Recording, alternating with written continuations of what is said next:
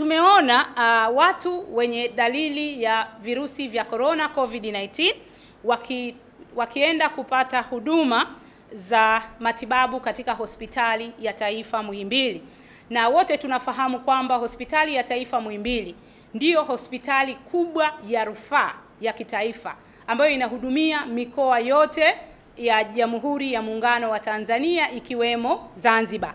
Lakini pia hospitali ya Muhimbili ndiyo hospitali yetu kwa ajili ya matibabu ya kibingwa na bobezi.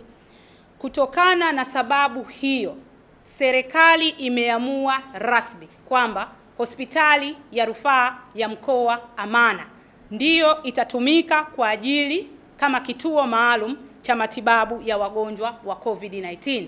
Lengo la serikali ni kutaka kuiprotekti hospitali ya taifa Muhimbili. Muhimbili kuna watu wanahitaji matibabu ya upasuaji wa mifupa na mishipa ya fahamu. Ndani ya Muhimbili kuna watu wanahitaji matibabu ya moyo.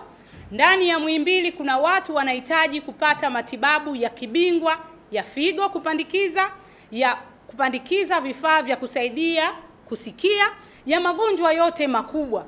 Kwa hiyo kama tutaacha watu waendelee kwenda Muhimbili, maana yake sasa tutakuwa hatuna sehemu ya kukimbilia kupata matibabu. Kwa hiyo pia nitumie hadhara hii kutangaza rasmi kwamba sasa kituo maalum cha matibabu ya COVID-19 sambamba na Mloganzila na Kitemeki na Kibaha ni Amana, ili tuweze kuipunguzia, ili tuweze kuiprotect kwa Kiswahili, kuilinda hospitali yetu ya taifa Muhimbili.